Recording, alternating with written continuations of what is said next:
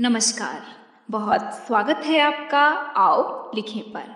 आज हम बाल दिवस के उपलक्ष्य में बचपन पर कविता लिखेंगे। तो आओ लिखें। बचपन तू बहुत याद आता है।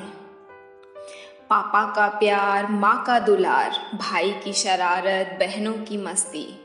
बचपन का वो ज़माना बहुत याद आता है। स्कूल की दोस्ती, गलियों का शोर। स्कूल की दोस्ती, गलियों का शोर। छोटी छोटी बातों पर रूठ जाना, फिर एक दूजे को मनाना। लड़ना, झगड़ना, शाम तक फिर एक हो जाना, बहुत याद आता है। गिल्ली डंडा, स्टेपू, रस्सी कूद, बेफिक्रा होकर खेलना। दोस्तों के साथ टिफ़िन बांट कर खाना। भागते हुए गलियों में पतंग उड़ाना, सुबह की लड़ाई को शाम तक भूल जाना बहुत याद आता है।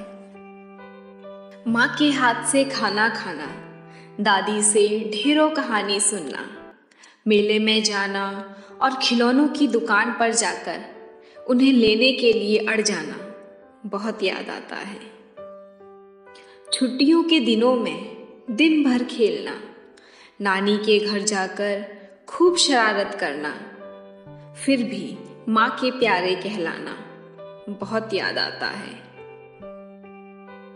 आसमां से बातें करना, तितली संग खेलना, इंद्रधनुष के रंग गिनना, बंदर का नाच देख ज़ोर ज़ोर से ताली बजाना बहुत याद आता है।